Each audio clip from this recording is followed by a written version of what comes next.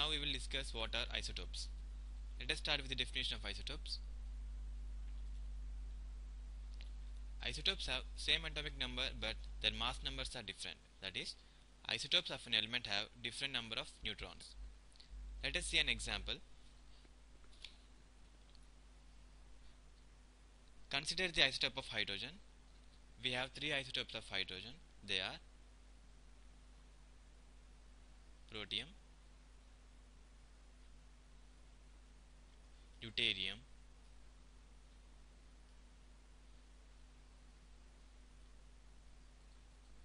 and tritium.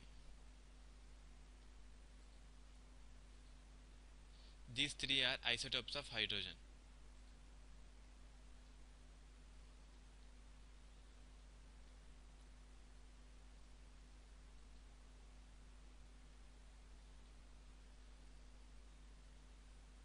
Protium is denoted by H11.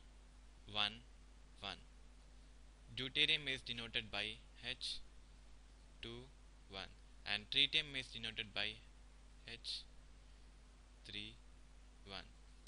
If you look at these isotopes, you can see 1 is common in all the three isotopes, which is nothing but the atomic number. So, the atomic number of these three isotopes are same. Hence, according to the definition, isotopes possess same atomic number. Now look at this. Here for protium it's 1, for deuterium it's 2 and for tritium it's 3. So we have the mass of protium as 1, the mass of deuterium as 2 and the mass of tritium as 3. Hence the masses of all the three isotopes are different. Hence the isotopes possess same atomic number but have different mass numbers.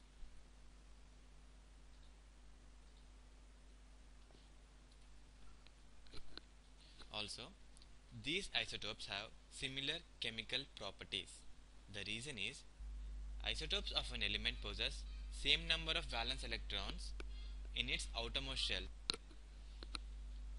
Hence, they show same chemical properties.